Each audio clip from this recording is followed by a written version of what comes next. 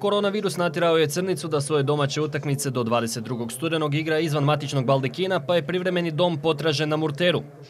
Tijekom tjedna Škoj se pokazao kao negostoljubivo mjesto za Šibenčane, koji su neočekivano ispali u četvrtfinalu Kupa od Vrgorca.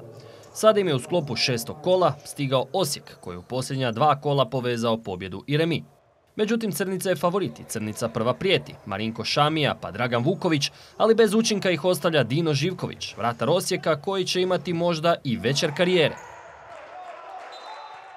Gosti su rano stigli do vodstva. U istoj toj drugoj minuti zaplivao je vratar Crnice Franko Bilić, a Dragan Vuković je gurnuo loptu točno u noge Osijekovom Ivanu Geli. Gelo je u konačnici asistent, a strijelac je Andrej Pandurević za 1-0 Osijeka.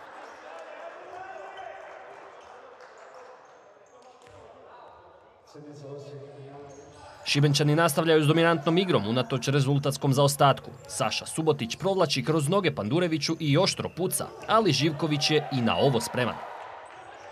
Nije to nikakva obrana naspram iduće dvije koje ima Živković. Ponovno skida dva udarca u nizu, ponovno pucaju Vuković i Šamije. U sedmoj minuti okušao je svoj udarac i Roko Burču. Živković to uz manje poteškoće zaustavlja.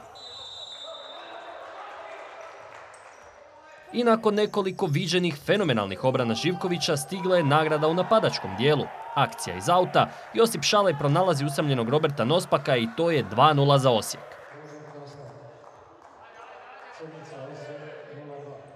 Prvi pogodak nije toliko šokirao Šibenčane koliko je to učinio ovaj drugi, pa onda Osjećani imaju novu prigodu. Ivan Ćosić je oduzeo loptu, a Vitor da Silva tjera na tri intervencije Bilića. Pribrala se Crnica, prije svega je zato zaslužan kapetan Dragan Vuković, iako mu malo preciznosti nedostaje nakon lijepe akcije domaćina. Potom je Vuković probio strijelca Nospaka, na kraju je pokušao Saša Subotić smanjiti zaostatak, ali ništa od toga zasad. Pritišu domaćini goste u crvenom čim krenu s posjedom. Tako Burčul uzima loptu Šalaju, na kraju puca Subotića Živković glavom skida još jedan zica. U završnici prvog dijela još je u tri navrata pokušao Vuković za crnicu. Prvo gađa vanjski dio mreže. Potom lukavo hvata Živkovića na spavanju, ali se lopta odbija pored gola. I na kraju, nakon sjajne lopte iza leđa obrane, pokušava uposliti Burčula na drugoj vratnici, ali Živković i ekipa i to zaustavljaju. Magičnih 20 minuta za Osijeka, ali još ih je 20 pred nama. Crnica u prvom napadu dolazi do pogotka. Marinko Šamija vraća domaćine u igru i smanjuje zaostatak na 2-1. No već u idućem napadu Osijek bježi opet na plus 2. Strijelac Ivan Gelo i gosti imaju 3-1.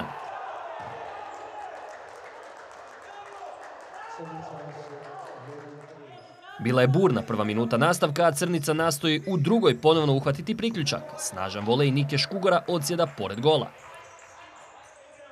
Potom se Subotić našao u kaznenom prostoru Osijeka. Uputio je dva udarca, jedan je blokiran, a drugi obranjen.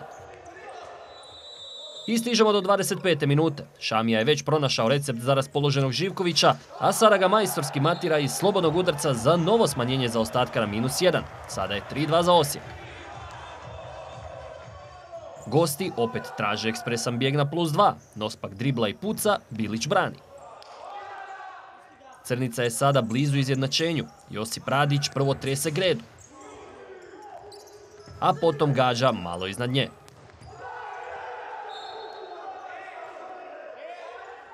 I onda dolazimo do 29. minute kada opako griješi Osikov da Silva. Burčul je presjekao loptu, pronašao Subotića, a ovaj rutinerski vraća sve na nulu. Crnica Osijek 3-3.